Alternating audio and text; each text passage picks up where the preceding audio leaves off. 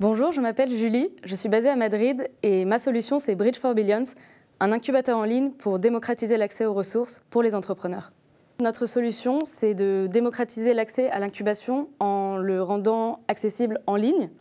Donc comment ça se passe concrètement? C'est un programme qui dure trois mois, dans lequel on connecte, on met en relation un entrepreneur avec un mentor qui correspond aux compétences dont il a besoin. Et une fois qu'ils se sont rencontrés, ils ont accès à un espace collaboratif en ligne sur lequel ils peuvent travailler pas à pas sur le business plan, euh, sans technicisme, avec des termes très simples. Ils peuvent travailler, euh, voir des exemples de comment d'autres entrepreneurs ont passé cette étape et des termes clés. Et, et, donc collaborer sur Skype, euh, par commentaire, par email.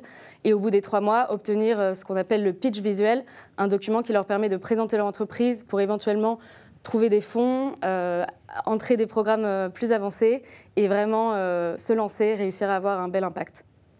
Alors pour moi, l'élément déclencheur, je pense comme pour beaucoup d'autres entrepreneurs sociaux, ça a été Mohamed Younous.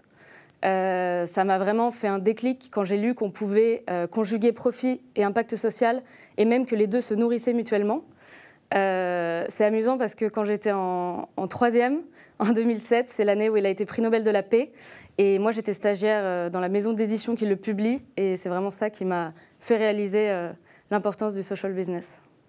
Un an après avoir lancé le programme, notre impact, c'est presque 200 entrepreneurs accompagnés, un réseau de 220 mentors bénévoles.